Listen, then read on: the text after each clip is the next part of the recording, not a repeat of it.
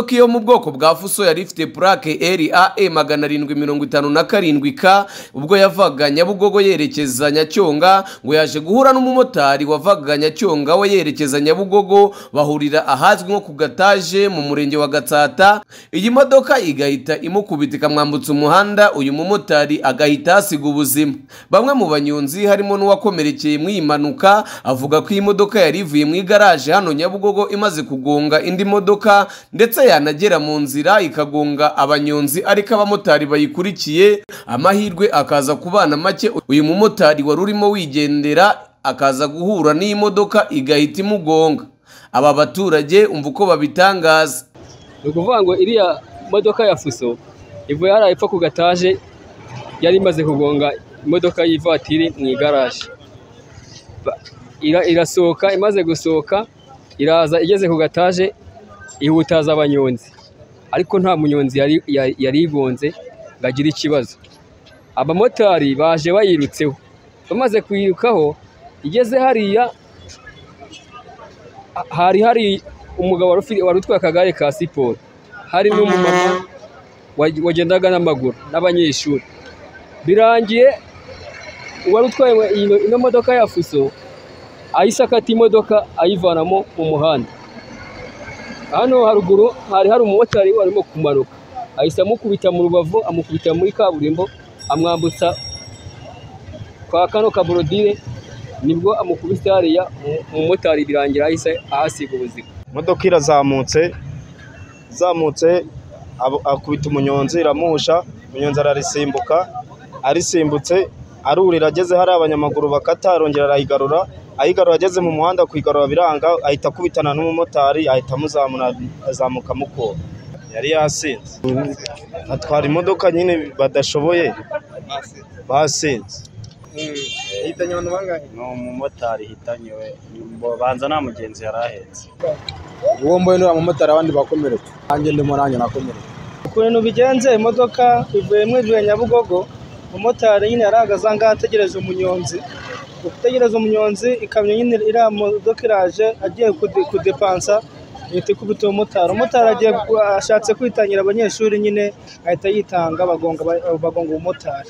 Bakomeza bavuga ko iyi mpanuka ishobora kuba yatewe n'ubusinzi dore ko umushoferi wari utwaye imodoka yahise ava muri iyi modoka amaguru akayabangira ingata umutandiboyi we nawe bari bari kumwe agashaka kwiruka ariko inzego z'umutekano zigahita zimucakira atarakuramo ake karenge umumotari uriya mushoferi yaba yasinze ariko ni amakuru ubwo polisi yageze nda baramupima barebe nibasanga yasinze ndumva agomba guhanwa n'amategeko uko bikwiye. Ni ubusinzi musirikare ni ubusinzi bwabiteye umushoferi bamufashe arahari nta kibazo yari ashatse gucika ariko bamufashe. Ariko umushoferi we yahise yahise acika arigendera.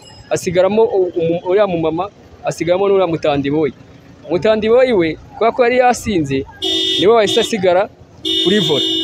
Yagiye kwiruka ba- bara- ba- ba- bahita bamufata. BTN TV yifuje kumenya icyo umuvugizi wa polisi ishami ryo mu muhanda SSP Irere Irene avuga kuri iki kibazo gusa ntibyadukundira. Izi mpanuka zikomeje kwiyongera nyuma y'aho polisi ishami ryo mu muhanda batangije ubukangurambaga bwa gerayo amahoro ariko nanone polisi ntihwema gushishikariza abashoferi kuzajya bagenda mu muhanda bakirinda gusoma kuri kamanyinya mu gihe batwaye.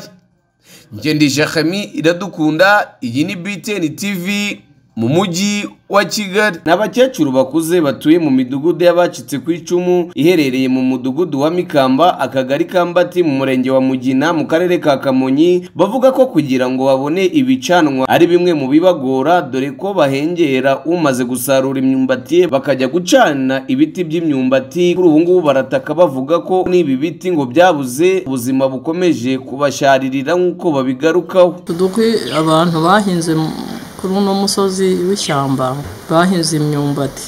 Noneho bakuye rero ngenda nkajya gutoragura turiya dukwi ubwo ndibaza nitumara bimaze no gushiraho ubundi muri make kubitoragura hambere. Bitubereye aho na hano kuzigura amakara ni ukuyagura.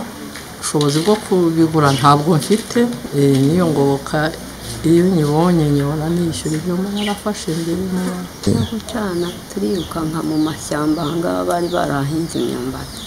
Tukajya gutoragura ibiti Eh, hariya biriya by'imyumbati bihita nyine bishira.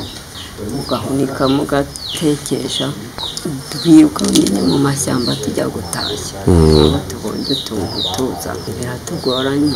Cyane no gucana se. Ubusekwe baduhaye amashyiga ariya nyine ateyemo mu gikoni utekaho.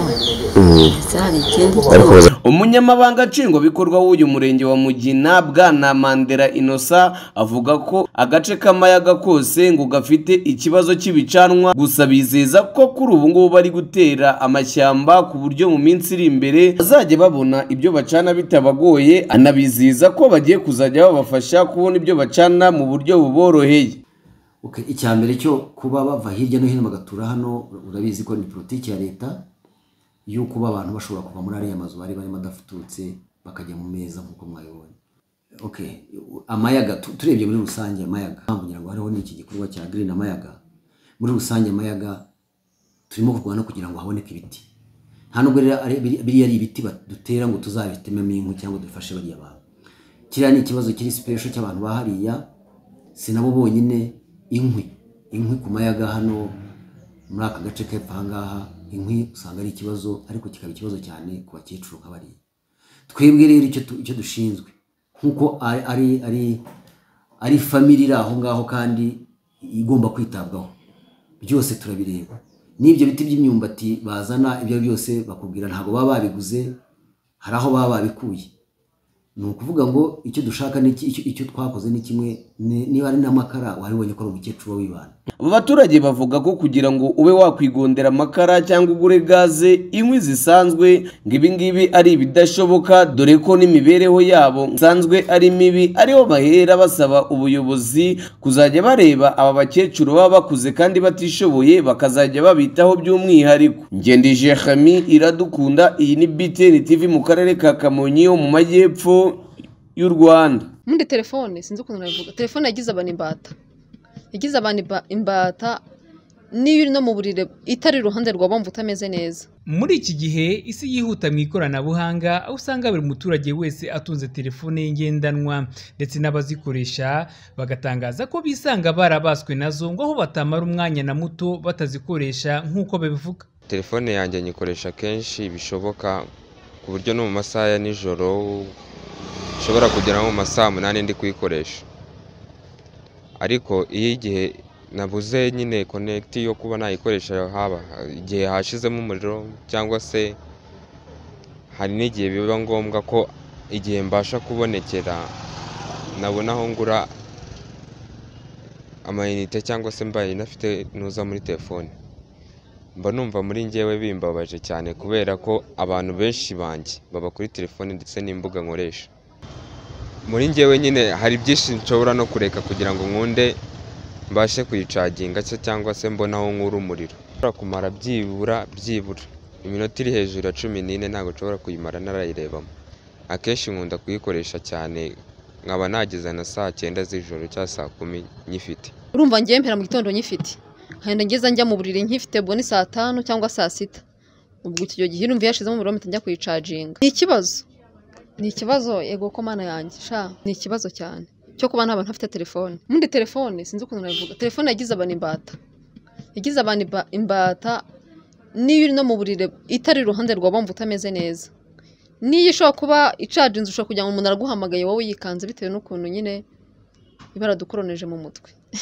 Yaradukoroneje Dr. Jean Damascene Iyamuremye ni umuyobozi ushinzwe agashami gashinzwe ubuzima bwo mu mutwe mu kigo cy'igihugu cy'ubuzima RBC kuri iyi ngingo avuga ko ibi bishobora kuba intandaro yo gutera ibibazo ku burwayi bwo mu mutwe. Nk'uko ubizi ah, telefone isigaye ari igikoresho cya buri munsi ku bantu benshi.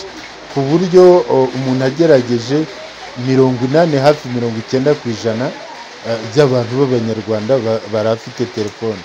Ariko birimo biragaragara ko gukoresha telefone u- umuntu akayikoresha nabi bishobora ku- kumuzanira ingaruka ndetse ah, n'ingaruka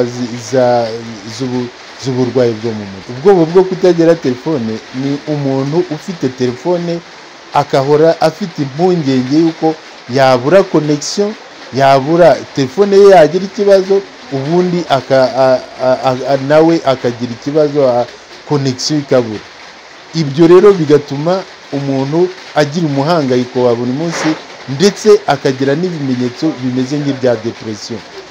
Cyane cyane iyo abuze connection telefone ibuze batiri eh, ndetse hagize n'ikindi kintu gituma iyo telefone ay- ayikoresha akagira ibimenyetso cyangwa se imyifatire idasanzwe imeze nk'iy'umuntu ufite ikibazo cyo mu mutwe. Iyo niyo wenda nomofobiya I- icyo wenda twa- twakongera tuvuga ni uko iyo ndwara cyangwa se icyo kibazo twagereranya nko kuba imbata ya telefone. E, mu by'ukuri cyibasiye cyane cyane urubyiruko muri rusange. E, ri- ari na cyo tutabura kuvuga ko abantu bakomeje mu gukoresha nabi telefone byatuma bagira ibibazo byinshi n'ibi n'ibibazo bishamikiye ku bibazo byo mu mutwe. Ariko biterwa no, kuyikoresha nabi abantu bakayikoresha kenshi bakanayikoresha n'igihe kitari ngombwa. Tuvuge nka- nk'abana bamwe na bamwe bagira telefone. Hari abataryama bakarara ba- bari kuri telefone cyane cyane zimwe twita smartphone.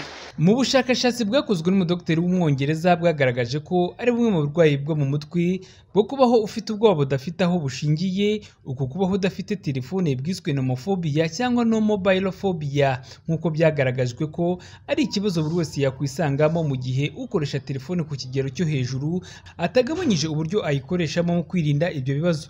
Janvier kamanzi btn tv mu mujyi wa kigali.